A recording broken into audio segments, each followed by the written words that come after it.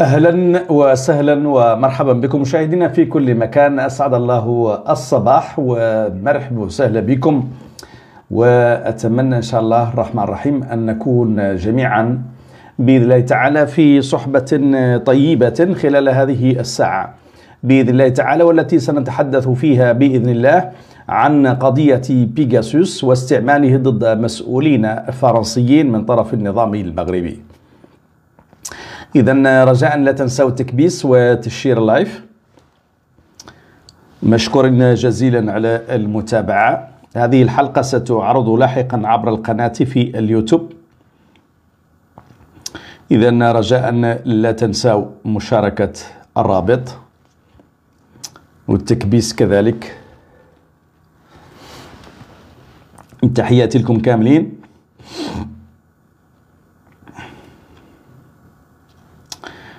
قبل ذلك أذكركم بالموعد الذي سيكون غدا إن شاء الله في بروكسل. وهذا النداء هو موجه بالأساس إلى الجالية الصحراوية في بروكسل في والله في بلجيكا بشكل عام وربما يعني في بعض المدن القريبة من من من الأراضي البلجيكية. والله من بروكسل للحضور الوقفة المقررة غدا حيث ستقيم الجالية الصحراوية ببلجيكا غدا وقفة تنديدية بعدد من الإجراءات التي همت القضية الوطنية الصحراوية في الآونة الأخيرة وكذلك تضامنا مع المعتقلين السياسيين الصحراويين الموجودين في سجون الاحتلال المغربي. الوقفة كما قلت تنظمها جمعية الصحراء ما تنباع ببلجيكا وستقام غدا الثاني من نوفمبر 2024 أمام مقر البرلمان الأوروبي بساحة لوكسمبورغ على الساعة الواحدة زوالا. إذا الحدث هو وقفة الغد. التي ستنظمها جمعية الصحراء ما تنباع وذلك أمام البرلمان الأوروبي بساحة لوكسمبورغ في حدود الواحدة بعد الزوال. ونهيب كذلك بالجالية الجزائرية والجالية التونسية والجالية الموريتانية والتونسية كذلك ومن يتعاطف مع القضية الوطنية الصحراوية للمشاركة بكثافة في هذه الوقفة. إذا الموعد الواحدة زوال أمام البرلمان الأوروبي بساحة لوكسمبورغ ببروكسل عند الساعة الواحدة زوالا في نشاط تنظمه جمعية الصحراء ما تنباع إذا نمشوا لموضوعنا اليوم وهو طبعا مرتبط بزيارة ماكرون الأخيرة إلى الرباط والتي نتج عنها ما أسماه المغاربة بالاعتراف بالاعتراف الفرنسي بالسيادة المزعومة للمغرب على الصحراء الغربية واللي في الحقيقة طبعا ليس اعترافا وإنما دعما للحكم الذاتي كحل لمشكلة الصحراء الغربية. وهذا الذي لا يفهمه الكثيرون. يحاولون طبعا ترويجه على أنه اعتراف ولو كان يعني ذلك اعتراف لقلنا هل فرنسا تملك الصحراء الغربية حتى تسلمها للمغرب. هذا هذا الأمر يعني أحدث ما أحدثه من ضجة هنا وهناك وفي كل يعني التجاذبات التي حدثت في الساعات الماضية حركت مرة أخرى الملف الصحراوي وأعادته للواجهة. في الوقت الذي يخوض فيه الجيش الشعبي الصحراوي معركة شديدة على المستوى الميداني ضد جيش الاحتلال المغربي. إلى جانب طبعا المعركة الدبلوماسية التي تتم عبر عدد من القنوات وفي عدد من المستويات وليس أقلها هو يعني الأمم المتحدة التي لا زالت إلى حدود الآن تمسك بملف الصحراء الغربية كما تعلمون. إذا الملف الصحراء الغربية إلى حدود اليوم لا زال عند الأمم المتحدة ولا زالت تمسك به الأمم المتحدة وكثير من الناس يعني يعتقد على أن الملف قد حسم وهذا كذب في كذب. بين أمامي بين يدي يعني مقال صحفي يتحدث ربما عن الخلفيات التي دفعت ماكرون إلى زيارة المغرب واتخاذ هذا الموقف وهذا المقال يعني يستند إلى مقال آخر نشره موقع أفريكوم وفيه عدد من المعطيات الهامه التي ربما تفيد في فهم آه، مشكلة آه، الصحراء الغربية أو التطورات التي حدثت في الآونة الأخيرة. اذا المقال يقول آه، بأن التحول الدبلوماسي الذي قام به الإليزي من خلال دعمه المعلن للمخطط المغربي المزعوم للحكم الذاتي في الصحراء الغربية قد يكون راجعا إلى معلومات حساسة تحصل عليها المغرب دون علمه دون علم الإليزي. إذا ماذا يقول آه، موقع أفريكوم؟ يقول على أن آه، الرئيس الفرنسي إيمانويل ماكرون الذي يقود الإليزي طبعا قد آه، يعني أرغم على هذه الزيارة لأن المغرب حصل على بعض المعلومات التي لا تتوفر حتى للإليزي. وهي المعلومات حساسة يعني عن الرئيس الفرنسي إيمانويل ماكرون وقد وصلت إلى المغرب وبالتالي يعني سهلت التحكم في الرئيس الفرنسي إيمانويل ماكرون حسب دائما حسب موقع أفريكوم.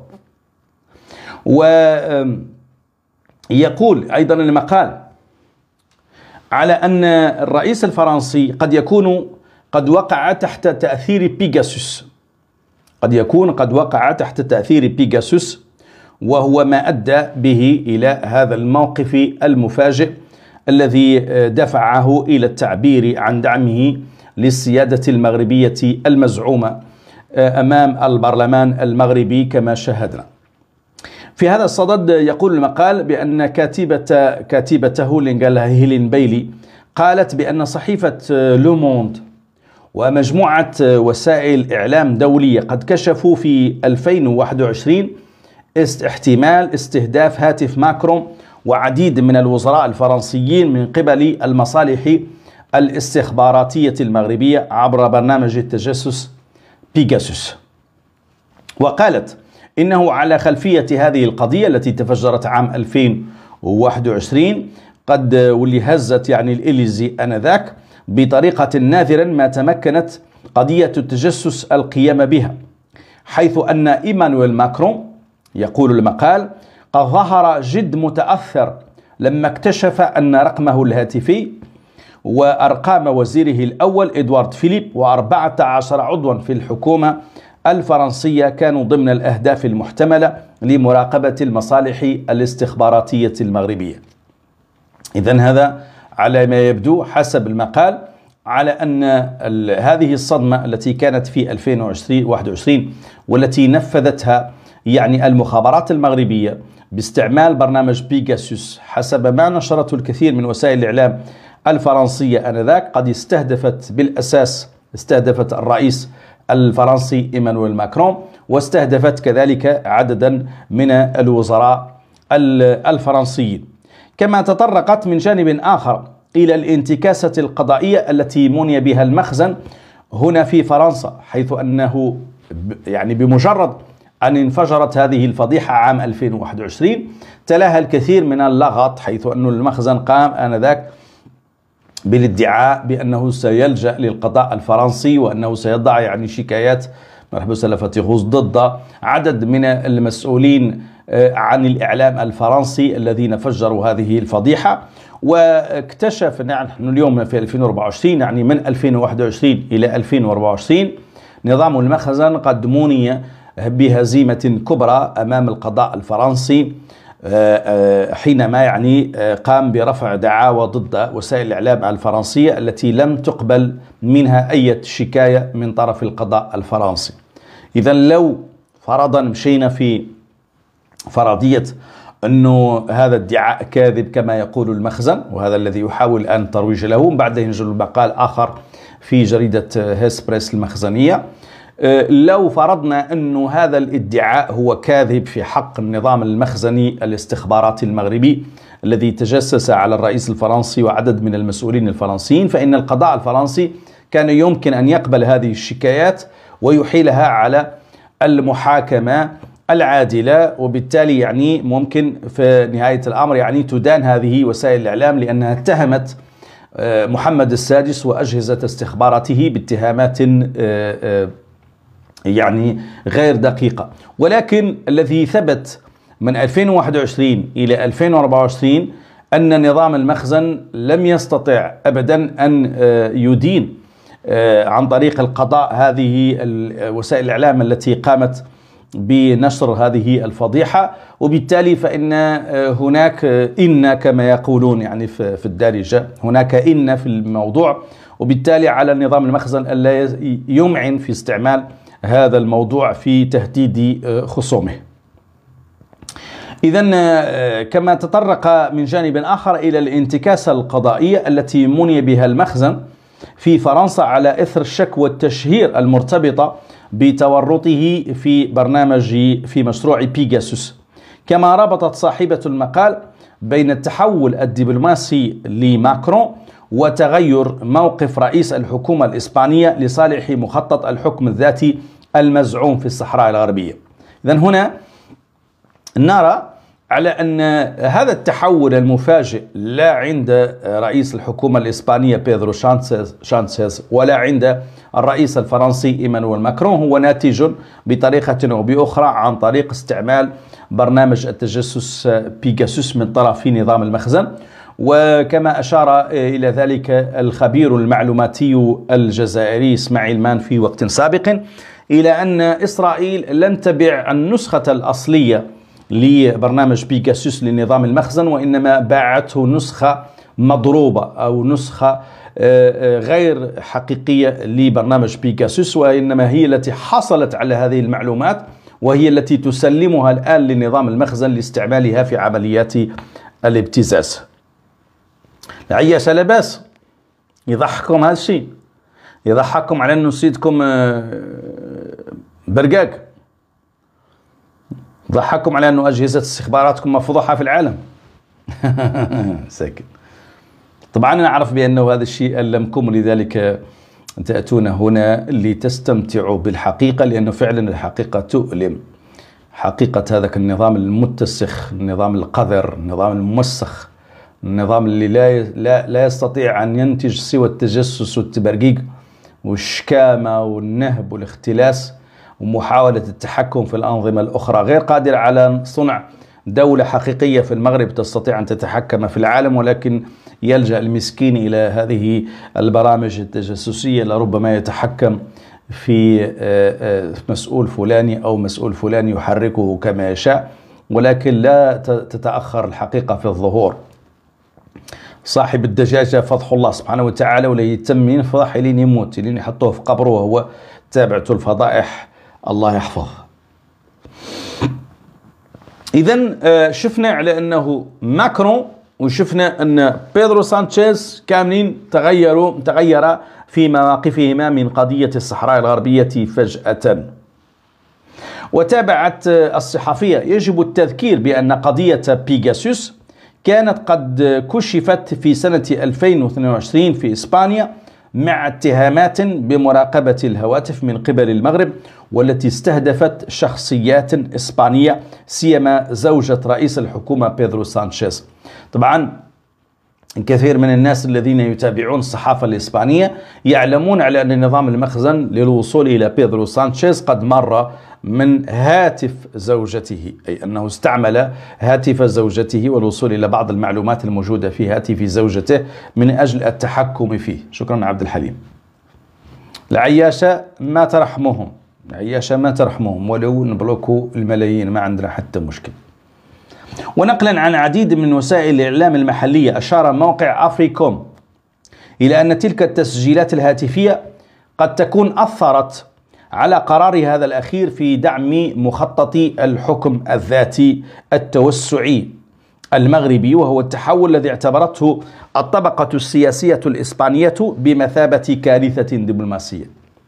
هنا مهم أن نفهم على أن ما يقوم به محمد السادس بخصوص موضوع الصحراء الغربية وهذه الخطوات الانتحارية التي يرغم عليها بعض الساسة في العالم من أن ينخرطوا معه في آه، دفاعه عن قضية الصحراء الغربية من وجهة المغرب هو في الحقيقة يحدث كوارث سياسية بدل أن يحل المشكل.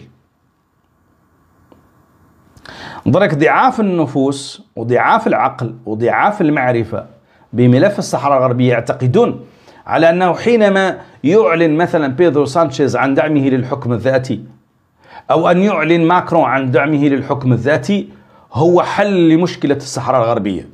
لا أبدا. العكس هو إضافة مزيد من التعقيدات لمشكلة الصحراء الغربية. هو هو توجه إلى إلى مرحلة أعقد من المرحلة التي يوجد عليها الملف. بكل بساطة لأنه هذا ملف واضح جدا. هذا ملف يوجد كقضية تصفية استعمار عند الأمم المتحدة من 1963 وليس المغرب من وضعه عند الأمم المتحدة. ليس أبدا المغرب ما عنده علاقة بالمغرب. إنما الذي وضع الملف هي هو المنتظم الدولي الذي طلب من إسبانيا آنذاك معلومات حول الإقليم وفعلا يعني لما أحيلت هذه المعلومات من طرف القوة الاستعمارية السابقة للصحراء الغربية أحيل الملف على لجنة تصفية الاستعمار واعتبر منذ ذلك التاريخ كآخر منطقة استعمارية أو مستعمرة في الصحراء الغربية. من ضمن 17 إقليم آنذاك غير متمتعة بالحكم الذاتي. ومنذ ذلك التاريخ أي منذ 1963 والقرارات الأممية تصدر لا تعطي الحق للمغرب لا تعطي الحق للمغرب ولا تؤكد سيادة المغرب على الصحراء الغربية. بالرغم من هذا الجهد يعني من 1963 إلى يومنا هذا نحن في 2024 شوفوا كم من سنة شوفوا كم من سنة ويأتي شخص معين إلى البرلمان المغربي ويسلم الأرض هكذا للمغرب.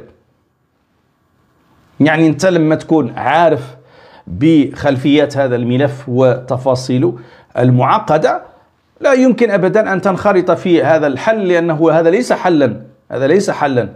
هذا فقط نوع من آه، إعادة بعث الحياة في القوة الاستعمارية الجديدة للصحراء الغربية التي لا تستطيع أن تثبت للمنتظم الدولي شرعيتها في أو شرعية تواجدها في الصحراء الغربية. إذا جر بيدرو سانشيز إلى هذا المستنقع المخزني وجر ماكرون إلى هذا المستنقع المخزني هو في الحقيقة تعقيد للملف. وهو خدمة لملف الصحراء الغربية في اتجاه الاستقلال.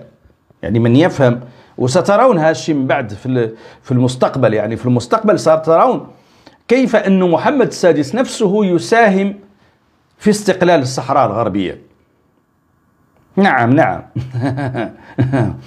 نعم. سترون ستكتشفون مع الوقت على أن محمد السادس يساهم في استقلال الصحراء الغربية.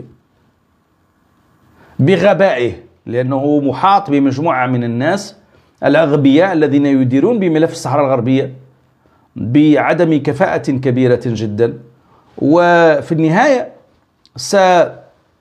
ستؤدي كل هذه الخطوات إلى مزيد من آه، أول شيء من تقوية اللحمة الداخلية في الصحراء الغربية وتوقظ يعني همم الشعب الصحراوي وتدفع يعني الجيش الشعبي الصحراوي إلى القيام بخطوات أكثر على مستوى الحرب مما كانت عليه في وقت سابق مما سيؤدي إلى أنه نظام المخزن سيقبل في النهاية سيقبل بمغادرة الصحراء الغربية مرغما وهذه الساعة يبقى تصريح ماكرون ولا تصريح سانشيز ولا تصريح فلان ولا تصريح فلان لا قيمة له على أرض الواقع.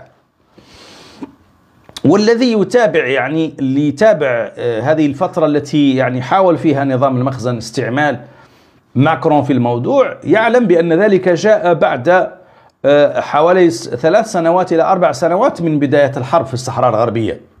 يعني من قبل كان النظام الملكي يدعي بأنه لا يوجد هناك حرب في الصحراء الغربية وكان يدعي بأنه لا وجود أبدا لأي خرق لوقف النار وأنه يعني متحكم عسكريا في المنطقة. ولكن الذي شاهدناه يذهب إلى الأمم المتحدة من أجل طلب وقف إطلاق النار هو المغرب. هو المغرب. وفما بالك بما يجري في الكواليس؟ يعني لا شفتوا أنتم فقط في ذيك ذيك العبارة فقط اللي يقول أخ النوش. أمام الأمم أمام الجمعية العامة للامم المتحدة يقول لك لا مفاوضات دون وقف إطلاق النار. هذيك هذيك العبارة تختصر الما كبيرا جدا عند النظام الملكي وهو يرى بأن الحرب يعني تغلب. لذلك طلب النجده طلب النجده مشى عند الأمم المتحدة يبكي عليها ومشى عند فرنسا يبكي عليها باش يتغلب على الوضع العسكري في في في, في الصحراء الغربية. لكن آه، متى يعني ما كانت فرنسا تدعم آه، المغرب في الصحراء الغربية؟ منذ زمان. حتى أن السفير الفرنسي في المغرب آنذاك يعني آه، قبل أشهر يخطب في طلبه الجامعة ويقول نعم نحن من كنا نساعدكم بطائراتنا الحربية ضد المقاتلين الصحراويين ونحن من كنا نساعدكم في الأمم المتحدة باستعمال الفيتو. يعني أنتم لا شيء يعني أنتم كنظام ملكي يدعي بأن هذه الأرض هي أرضك أنت لا جهد لك لا قيمة لك ما عندك حتى العضلة باش تدافع على تلك الأرض. من دون مساعدة دول مثل فرنسا. إذا فرنسا اليوم وفرنسا الأمس هي نفسها التي تساعد نظام الاحتلال المغربي في الصحراء الغربية. وهذا ليس غريبا ابدا على آه، فرنسا في هذا الاتجاه. لكن شنو الجديد اليوم؟ الجديد على أن نظام المخزن يعيش وضعا صعبا في الأمم المتحدة ويعيش وضعا صعبا في الحرب وبالتالي يبحث لنفسه عن آه، مزيد من الدعم مزيد من التحالف مزيد من الأسلحة مزيد من آه، الإسناد العسكري باش يقد يتغلب على الوضع في الميدان لأنه غير قادر على التحكم فيه.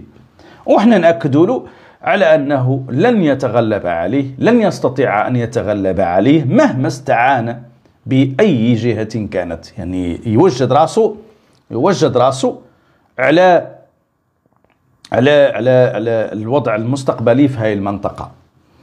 أه ونقلا عن عديد ونقلا عن عديد وسائل الإعلام المحلية أشار موقع أفريكوم آه، إلى أن تلك التسجيلات الهاتفية اللي ضبطت المخابرات المغربية آه، وسلمت آه، يعني إلى نظام المخزن باش يستعملها كأداة للابتزاز قد اثرت على قرار هذا الأخير اللي هو بيدرو سانشيز في دعم المخطط التوسعي المغربي الذي وهو التحول الذي اعتبرته الطبقة السياسية بمثابة كارثة سياسية كارثة دبلوماسية وسياسية خطيرة وهو التساؤل الذي يعود اليوم إلى الواجهة لتفسير التغير الذي طرأ على موقف الرئيس الفرنسي. آه، في هذا السياق ذكرت البوابة الإعلامية التقارب الاقتصادي المثير للجدل بين فرنسا والمغرب بملايين الأورو. مشيرة إلى أنه بعد مضي ثلاث سنوات على قضية بيكاسوس هدأت فجأة التوترات بين البلدين على حساب الواقع الاقتصادي ونهب الصحراء الغربية مستقبلا. إذا 2021 إلى 2024 ماذا شاهدنا؟ شاهدنا أن الإعلام الفرنسي يتحدث عن هذا الموضوع ولنعطيكم أمثلة من ذلك. لنعطيكم أمثلة من ذلك. عبد الحليم تكيس عليهم شوية عبد الحليم رانك عبد الحليم تكيس عليهم مساك تكيس على العياشة. مرة هما راهم مخلصين. راهم جايين باش يتخلصوا. وتقطع لهم رزقهم اليوم. هما راهم مجندين هم راهم بايتين قافلين عليهم من البارح. يعشوهم ويعلفوهم ويوجدوهم يقول لهم بمجرد انتقل محمد راضي الليلي تعالوا هجموا عليه. انت بغيت تقطع لهم رزقهم. مساكن شلاي باش لا يشتروا الكارو باش لا ماركيز وباش لا يشتروا الجوانات وباش لا يشتروا القهوة وباش خليهم سوي مساكين يسترزقوا على على ظهر محمد راضي الليلي. مساكن. إذا نشوفوا هاي العاصفة اللي كانت يعني مخار Emmanuel Macron a-t-il été espionné par le Maroc? Le scandale Pegasus révélé par les Forbidden Stories prend une nouvelle tournure. Après des journalistes, des activistes, ce sont des hommes politiques qui pourraient avoir été espionnés. Des numéros du président et de membres du gouvernement français figurent sur une liste de cibles potentielles du logiciel Pegasus. Il y a aussi l'ancien Premier ministre Édouard Philippe et même son épouse. Jean-Yves Le Drian, Christophe Castaner, Gérald Darmanin, Bruno Le Maire, François de Rugy ou encore François Bayrou. Au total, Forbidden Stories et Amnesty International ont obtenu une liste de 50 000 numéros de téléphone sélectionnés par les clients de NSO depuis 2016. NSO, c'est l'entreprise israélienne qui développe le logiciel Pegasus des pays comme la Hongrie et le Maroc utiliseraient ce logiciel, même s'ils s'en défendent.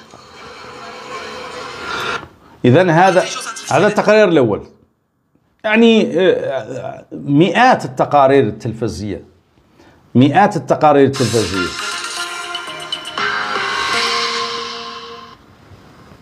Vous êtes sur France 24 et vous avez raison. Bienvenue dans votre journal de l'Afrique. À la une ce soir, les révélations se multiplient concernant l'affaire Pegasus. On découvre qu'au-delà des journalistes et opposants marocains espionnés, les services secrets marocains avaient aussi dans le viseur le roi du Maroc lui-même et des officiels français parmi lesquels le président Emmanuel Macron. Le colonel Assimi Goïta, victime d'une tentative d'assassinat, le président de la transition malienne a été attaqué au couteau alors qu'il sortait de la mosquée après la prière de la Tabaski. À... Sa réaction au micro d'Emmanuel Sochi. Le Togo, depuis des années, euh, euh, pour consolider. Le limogeage du ministre de la Santé, Fauzi Mahdi, et son remplacement. إذا En plus, euh, Depuis 2012, le Mali fait face à la montée de la menace يعني تقارير كثيرة أنا أجيب لكم آه، يعني عشرات التقارير بهذا الخصوص والله مئات التقارير Je sais que j'en ai fait très bien plus d'un là. Mais c'est normal, entre l'identification des يعني كل الصحافة الفرنسية تحدثت عن ذلك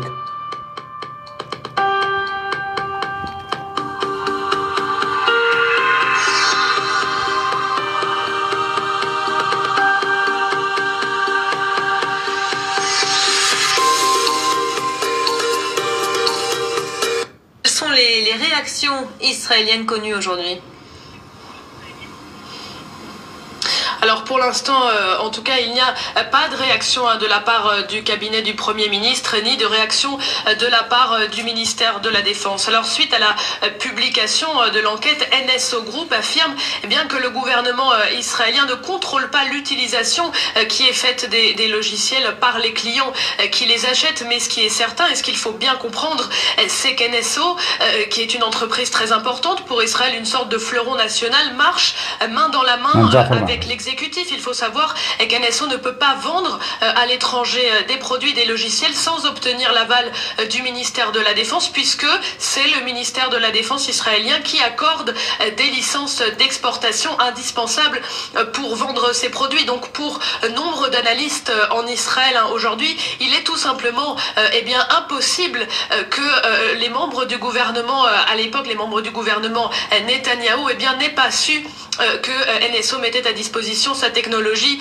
euh, à plusieurs, euh, à plus d'une dizaine euh, de gouvernements étrangers. D'ailleurs, il y a quelque chose qui est assez intéressant que l'on voit dans l'enquête menée par le consortium de journalistes, c'est que le gouvernement israélien a demandé à NSO de suivre certaines limites, notamment de faire en sorte eh que le logiciel ne, puisse pas, n'espionne pas des numéros israéliens, américains ou russes, ce qui montre euh, eh qu'NSO Group et ses produits eh sont un outil dont se sert la diplomatie israélienne. Au vu de ces, ces derniers éléments euh, fournis, le gouvernement israélien va sûrement euh, devoir hein, s'expliquer. Le cas de l'Arabie saoudite est particulièrement intéressant, Gwendoline. إذا ياسر من التقارير يعني عشرات التقارير عشرات التقارير بهذا الخصوص واللي يعني تتحدث عن مسؤولية يعني المغرب عن استعمال هذا اللوجيسيال اللي هو آه، آه، تجسسي واللي من خلاله وصلت إلى بعض المعلومات مثلا حينما تحدث عن طاهر بن جلون الذي كان ضيفا مؤخرا آه، على آه، إحدى القنوات آه، الفرنسية وهو يتحدث عن الخلاف القائم بين محمد السادس وماكرون شوف كان إذا لقيت ال- الفيديو. اذا لقيت الفيديو ماني عارف واش نلقاه بسهولة ولا لا. يعني طاهر بن جلون اللي قال يعني آه اعتقد هما نعم اذا هنا هنا يعني كان التوتر في أعلى مستوياته بين الرئيس الفرنسي إيمانويل ماكرون ومحمد السادس بسبب بيجاسوس بسبب برنامج التجسس بيجاسوس ما الذي تغير فجأة؟ ما الذي تغير؟ شنو هي الأمور اللي تغيرت بسهل بسرعة؟ حتى جعلت يعني هذا الخلاف يذوب بسرعة ويصبح يعني ماكرون آه، يعني آه، آه، مستدعى إلى المغرب ومشارك في هذا الشيء هذا هو السؤال الذي طرحه الكثيرون Un président ne fait pas ça. Il passe pas par-delà le, le, le chef d'État d'un pays. Ça ne se fait pas, ce, ce genre de choses. Enfin, ça m'a. Ça m'a choqué, ça, ça, a choqué. Ça a été très mal perçu au Maroc. Oui, en France aussi, ça a été mal perçu. Et au Maroc, alors pire, au Maroc, ça a été, oh là là, les réseaux sociaux se sont payés Macron d'une façon incroyable.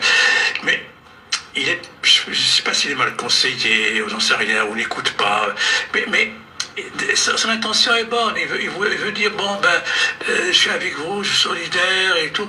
Mais, mais en fait, il aurait mieux valu que d'abord qu'il s'adresse à, à, son homologue, de l'État marocain, le roi du Maroc. إذا هذا اللي حدث كيف قلت لكم؟ بين الرئيس الفرنسي و وماكرون. إذا فجأة وقعت. سبحان الله يعني فجأة تغيرت العلاقة بعدما كانت متوترة من 2021 إلى إلى 2024 فجأة أصبحت في 2024 24 على هذه الحالة. وطبعا هناك الكثير من التفسيرات آه، التي ترتبط بالكواليس وما حدث في الكواليس وتدخل جهات كبيرة جدا في الموضوع. اذا ماني نكمل معاكم في في موضوع الذي نشر بخصوص بيجاسوس ولكن نمشوا لهسبريس المخزنية. هسبريس المخزنية اللي حاولت بعث رسالة معينة من المخزن في هذا التوقيت بالضبط. كما تعلمون أنه في الأيام الماضية تم اعتقال عبد فؤاد عبد المومني وهو ناشط مغربي معروف. يعني فؤاد عبد المومني المختطف قبل آه، حوالي 48 ساعة من الدار البيضاء من طرف ما يسمى بالفرقة اللوطنية للشرطة القضائية في الدار البيضاء وهو موجود آه، رهن الاعتقال.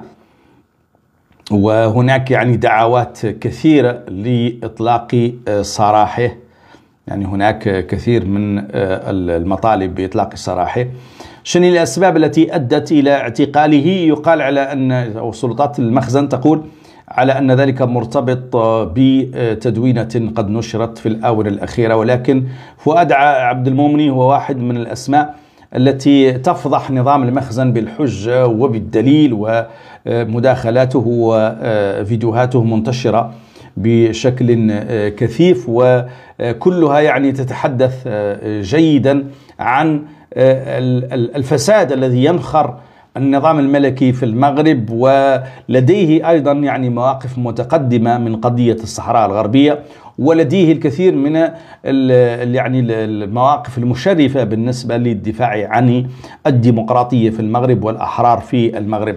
لكن النظام الملكي مباشرة بعد آه، زيارة ماكرون للمغرب قام باختطاف هذا الشخص واصدار بلاغ بهذا الخصوص. قال لك عن طريق ما يسمى بوكيل الملك لدى المحكمة الابتدائية في الدار البيضاء الذي قال لأنه تم ذلك بسبب ما تم نشره ببعض وسائل التواصل الاجتماعي من معطيات مغلوطة. ولكن المثير في هذا المقال الذي نشرته صحيفة هيسبريس المخزنية. هو أنه على جثة هذا المناضل المغربي فؤاد عبد المؤمن حاولت أن تهدد كل شخص يوجد في الخارج الذي يتحدث عن برنامج بيكاسوس. يعني جات آه، السلطات المخزنية آه، الإجرامية الاستبدادية الدكتاتورية التي تفعل ما تشاء في المغرب. يعني تعدى اللي بغات في المغرب. كما يحلو لها. تعتقل وتختطف وتعفو عن المفسدين وتتجاهل المفسدين وتختطف المناضلين وتتابع حركاتهم وتمنعهم من الرأي والتعبير وتمنعهم من النشر في الفيسبوك وكل من نطق بكلمة حق مساندة للشعب إلا وجد نفسه مسجون. جاءت من خلال هذا آه، البيان آه، أو من خلال هذا المقال أن تمرر رسالة معينة. هذه الرسالة المعينة هو على أنه وهذا نشوف آه، أن السلطات المغربية قال لك أنه البحث القضائي مع فؤاد عبد المؤمن اليوم إنما يندرج ضمن هذا المسعى القانوني الذي سلكه المغرب بإيمان قوي يدحض كل المزاعم المرتبطة ببرمجيات بيجاسوس قال لكم على أنه اعتقال فؤاد عبد المؤمن هو مرتبط بكل ما يسميه نظام المخزن ادعاء بأنه استعمل برنامج بيجاسوس 2021 2022 2023 2024 الصحافة الفرنسية تتحدث. وسائل الإعلام الفرنسية تتحدث. هو مشحط شكايات ضد هذه وسائل الإعلام في فرنسا. القضاء الفرنسي لم يقبلها. ما قبلها. أن يضيعوا فيها المحاميين وضيعوا فيها الترجمة وضيعوا فيها ياسر من الأمور. فبالتالي ما قبلت هذه الشكايات؟ الآن يعيد ترويج نفس القصة على أساس أنه راهو اللي يتكلم عن برنامج بيجاسوس في, في أوروبا ولا في العالم سيتابع من طرف النظام الملكي المجرم. وهنا يقول لك يعني الجزء الثاني من والله الفقرة الأخيرة من المقال على أن السلطات المغربية آه، آه، شرشبيل طبعا محمد السادس هو شرشبيل الذي أكل أموال المغاربة شرشبيل الكبير اللي كان المغاربة وكال رحبة المغاربة وكال تراب المغاربة وكال حقوق المغاربة وكال عقول المغاربة حتى أصبح المغاربة ما يفكروا حتى التفكير ما يفكروا. شرشبيل هو هذاك هو محمد السادس. أن السلطات المغربية أن السلطات المغربية التي قررت اللجوء للقضاء الإسباني والفرنسي والألماني يعني ثلاثة دول في مواجهة مروجي هذه الإشاعات المغرضة والمسيئة لصورتها. يعني مسكين محمد السادس بريء من بيجاسوس محمد السادس مسكين ما استعمل بيجاسوس محمد السادس مسكين من أحسن و, آه، و يعني وأبرأ الحكام في العالم. الذي مسكين يعني لا يلجأ أبدا إلى مثل هذه الوسائل. وأنه أي شخص مسكين يسيء إلى هذا صاحب الدجاجة فإنه سيتابع أمام القضاء الإسباني والفرنسي والألماني. طبعا هما هذو هذو ثلاثة دول فيهم مجموعة من الأحرار الذين يفضحون النظام الملكي. آه، من حقها كذلك أن تقدم شكاية أمام القضاء المغربي في مواجهة كل من يروج هذه الإشاعات على الصعيد الوطني بدون دليل. إذا قال لك اللي يتكلم على بيجاسوس في الخارج نتابعوه واللي يتكلم عن بيجاسوس في المغرب نتابعوه. إذا إحنا رانا بريئين من بيجاسوس إذا كانوا بريئين من بيجاسوس لماذا القضاء الفرنسي بكل بساطة لم يتابع وسائل الإعلام الفرنسية اللي هي 21 وسيلة إعلام فرنسية إضافة إلى فوربيدن ستوريز اللي كشفت هذه الفضيحة وفجرت هذه الفضيحة لماذا لا يتابع القضاء الفرنسي هذه وسائل الإعلام؟ ولماذا لا يقبل شكاية السلطات المغربية أمام القضاء الفرنسي؟ طبعا لأن القضية فيها الكثير من الغموض. إذا كيف شفنا إنه باختصار باختصار ما هي حقيقة النظام الملكي في المغرب؟ ما هي حقيقة النظام الملكي في المغرب؟ هو نظام ضعيف نظام استخباراتي نظام بوليسي نظام تجسسي نظام قمعي نظام ما قد يحافظ على السيادة المغربية نظام تافه نظام منشغل ومسخر كل جهده للتفاهات نظام متآكل نظام متهالك نظام ما هو قابل أن تكشف الحقيقة وطنيا ودوليا. نظام يفكر بعقلية القمع. لا يمارس القمع فقط وسط المغرب وإنما مستعد يستعمل الأموال من أجل تصدير القمع للدول الديمقراطية. إنما فقط في الدول الديمقراطية يقولوا له محمد السادس فراني شوي فراني. يقول له محمد السادس أموالك وقصورك وامتيازاتك وكذا وسفارتك وكذا ومحاميك وكذا. يقول له هذاك الشيء كامل ما هو خدام عندنا إحنا هنا عندنا الديمقراطية. زريبتك انت عدل فيها اللي بغيت بغيت تختاط في عبد المؤمن اختاط في عبد المؤمن بغيت تجيب مسكيناتك الكادحات من القنيطرة ومن عرباوة ومن ومن سيدي حيوب زعير وكذا وتجيبهم مسكينات وتخليهم تلوحهم في الرباط باش يستقبلوا ماكرون يفعل ما تشاء. لكن هون هذه الديمقراطية اللي عندنا خصك تفراني محمد السادس ما توقف. اذا هذا هو الوضع. هذا هو هذه باختصار صورة النظام الملكي في المغرب. منين اللي يمشي هذا النظام؟ يعني شنو حد شنو أقصى أقصى مسافة ممكن يمشي فيها هذا النظام؟ النظام ما يمشي بعيد. يعني اللي راكب مع هذا النظام في هذا القطار ما هو يمشي بعيد. شكرا منصور. أي شخص تابع هذا النظام وراكب معاه في نفس القطار وراكب معاه في نفس السكة وماشي معاه عارف رأسه بأنه لا يمشي إلى منطقة إلى نقطة معينة ولا يتوقف. لأن ما عنده بعد نظر ما عنده الانشغال بالأساسيات. تفكيره محدود يفكر عند أقدامه. مثلا في في الآونة الأخيرة كيف تعرفوا؟ تم الحديث عن ماذا؟ تم الحديث على الجفاف في المغرب. واجه الجفاف. كيف يواجه أي مشكلة؟ شنو هو الحل اللي قام به النظام الملكي؟ الاستمطار الصناعي. لجأ إلى ما يسمى بالاستمطار الصناعي. من لجأ إلى الاستمطار الصناعي. نظام البلدان اللي قريبة منه مثلا كإسبانيا حذروه. قالوا له يا محمد السادس هذا الاستمطار الصناعي اللي تقوم به لا يخلق لنا مشاكل في في, في عندنا في بلداننا. راهو ممكن يتسبب لنا في فيضانات كارثية. لأنه لا يجيب عواصف آه، رعدية كيف شفنا في منطقه في منطقة بالنسيا وراه لا هي تسبب لنا في كوارث طبيعية. ولكن هو يفكر لا في راسه. هو يفكر في راسه. قام بهذا الأمر لأن السلطات الإسبانية راهي اتهمته بأنه هو من تسبب في آه، هذه الاضطرابات الجوية التي حدثت في بالنسيا والوفيات التي حدثت في بالنسيا والفيضانات الكارثية اللي ضحاياها كذلك مغاربة ضحاياها أغلبيتهم مغاربة في هذه المنطقة في منطقة بالنسيا لماذا محمد السادس يلجأ للاستمطار الصناعي؟ لأن محمد السادس دائما يفكر فاش؟ يفكر في اللحظة ما يفكر في في المشهد بشكل عام. دائما هذه مشكلته. مشكلته أنه هو باغي يحل مشكلة الآن ولو تحدث عنها عشرات المشاكل الأخرى.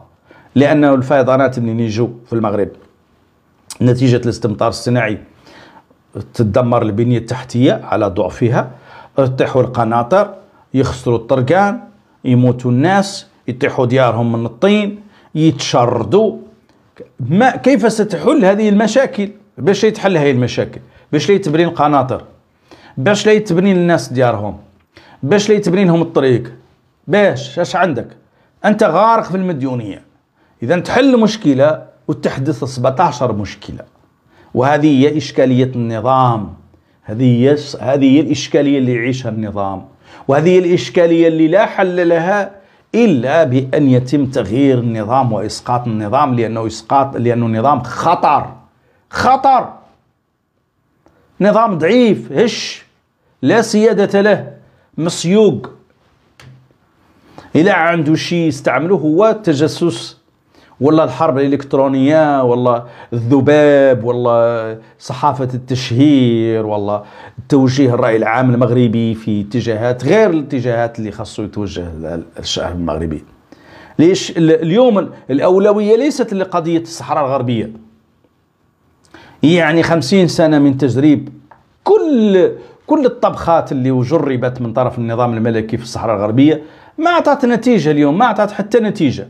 لا على مستوى الأمم المتحدة ولا على مستوى الاتحاد الإفريقي ولا على مستوى الاتحاد الأوروبي ولا على المستوى الميداني ولا على مستوى آه، آه، المستوى الشعبي. يعني ما نتيجة؟ الصحراء الغربية ظلت أرض غربية للصحراويين. المغاربه ما عندهم حتى علاقة وما مستفيدين ابدا من الصحراء الغربية وما عندهم استفادة حتى من وطنهم أرضهم المغربية. وبالتالي آه، شنو هي الفائدة؟ أنك تقحم مرة أخرى الشعب المغربي في حربك هذه ضد الصحراويين التي اكتشفت على أنها بدون نتيجة بما فيها الحرب العسكرية.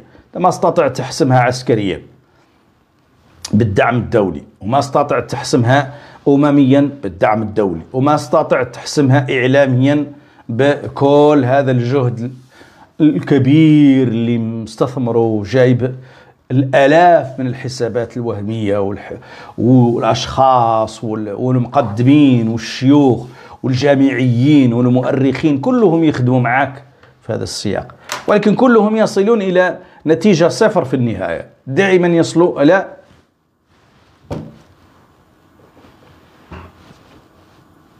لأن هناك حقيقة ما يمكن القفز عليها. نعطيكم مثال بسيط جدا مثال يكتشف منه يكتشف منه هذا الشيء اللي نتكلموا عنه. شوفوا هذا هذا هذا مواطن مغربي بسيط. هذا مواطن مغربي بسيط جدا. عند الفيديو. أنا خليكم تسمعوا الفيديو ومن بعد نعلقوا عليه.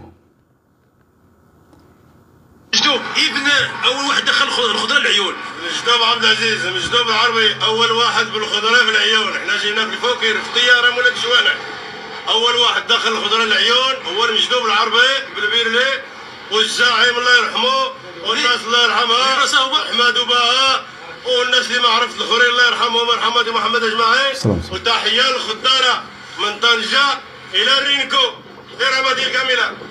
لك إيش فهمتوا من هذا التصريح؟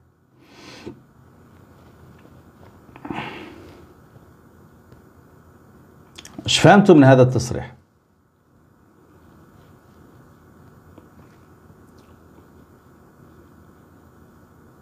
واقول على أنه أول يعني هو ابن أول واحد جاب الخضراء للعيون. اعطونا شنو هذاك العياش اللي يدافعوا على مغربية الصحراء إيش فهمتوا من خلال هذا التصريح؟ وربطوه بماذا هي الصحراء الغربية مغربية قبل 75 يلا أيوب يلا. أعطينا الجواب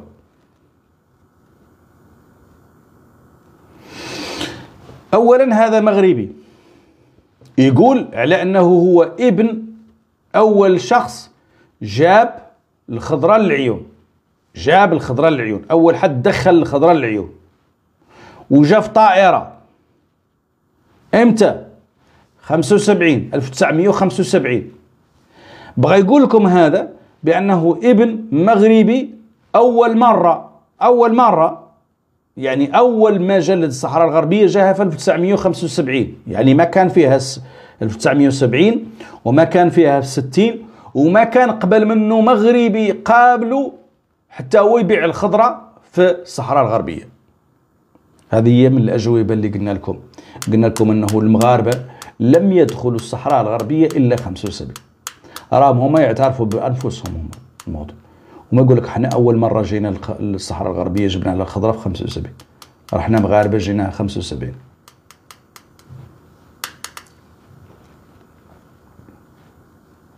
وجاوا في طائرة. واش كاين حد يقول لك أنا أرضي أول مرة دخلت لها الخضراء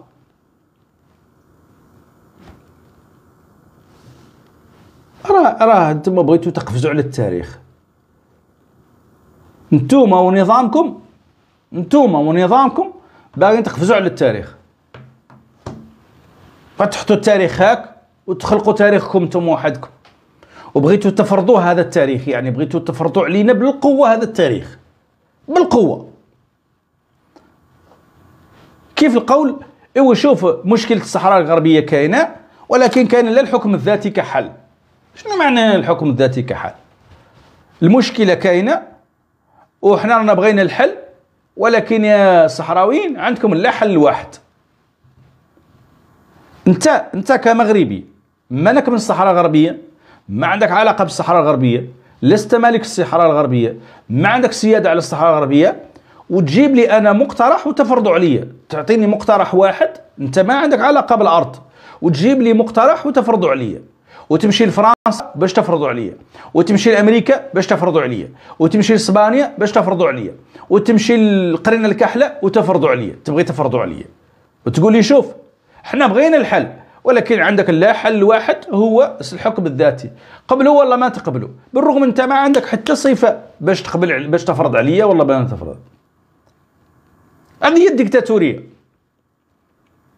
هذه هذه هي الديكتاتوريه هذه قمة الديكتاتوريه اللي بغى يعدل لنا النظام الملكي في المغرب. يحاصرنا ويدمرنا ويحارب عنا حارب حاربنا من هنا ومن هناك ويعطي علينا اموال من هنا ومن هناك ويجيبنا ويقول لنا شوفوا عندكم طريق واحدة تمروا منها. أنا بغيت الحل وأنا مع الحل وكذا ولكن مفروض عليكم هذا الحل. وش بأية صفة؟ أنت بأية صفة؟ آه، أن أنه هو صاحب الأرض. باش أنت صاحب الأرض أنت ما ما عندك حتى صفة باش تكون صاحب الأرض. إذا كنت صاحب الأرض مش يقولها للمحكمة العدل الأوروبية. إذا كنت صاحب الأرض مش يقولها للأمم المتحدة. إذا كنت صاحب الأرض مش يقولها لإسبانيا تعطيك المجال الجوي على الصحراء الغربية السيادة على المجال الجوي. إذا كنت صاحب الأرض. وهذا القطيع اللي تابعك ما هو فاهم. القطيع اللي معاك ما فاهم. واش هذا اللي يمشي تجيبوه من تجيبوه من القنيطرة في, كاميون باش يأثث المشهد في الرباط في استقبال ماكرون. فاهم هو مشكلة الصحراء؟ واش هو فاهمها راه مو فاهمها هذا اللي علق هون واش فاهمها راه مو فاهمها هو راه مقدم. هو اللي يكتب وخلاص ها ها ها ها وصعيدي يا ها ها ها ها. واش واش ملف الصحراء الغربية لا ينحل بها الصحراء الغربية راه مشكل معقد ومشكل واضح ومشكل باين ومشكل ما حله عند محمد السادس. لو كان عنده حل محمد السادس كاع ما يرسلك أنت تقول ها ها. ندش تضحك.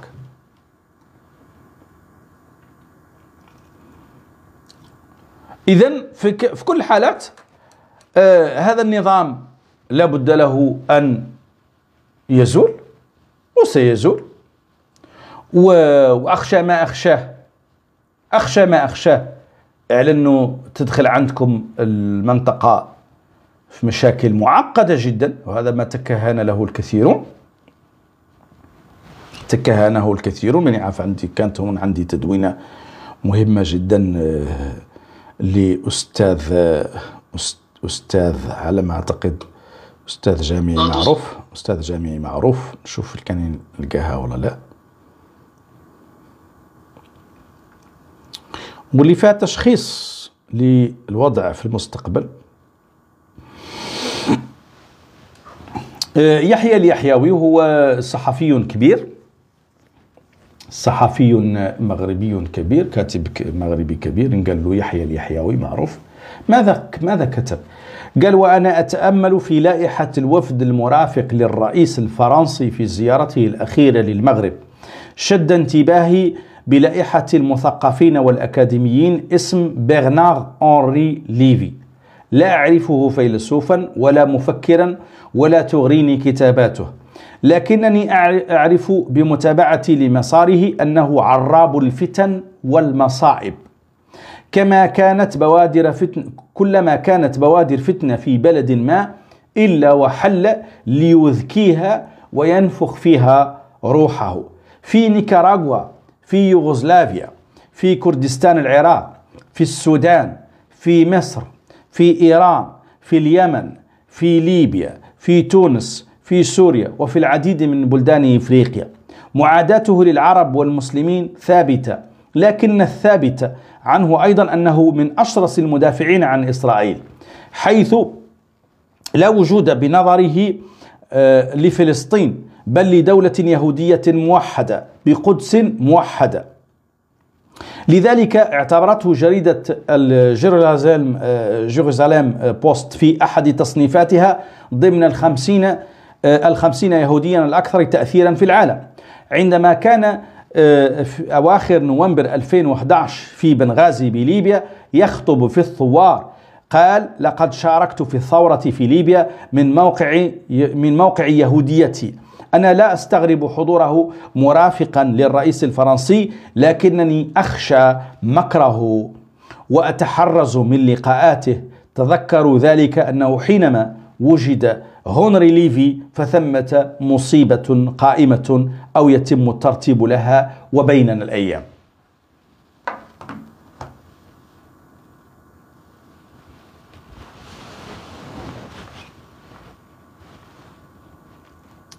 يحيى اليحيوي كاتب مغربي من المغرب من صلب المغرب ومن قلب المغرب وبخصوص المغرب ويتحدث عن ما ينتظر المغرب. وأنتم سترون ذلك بأعينكم في المغرب.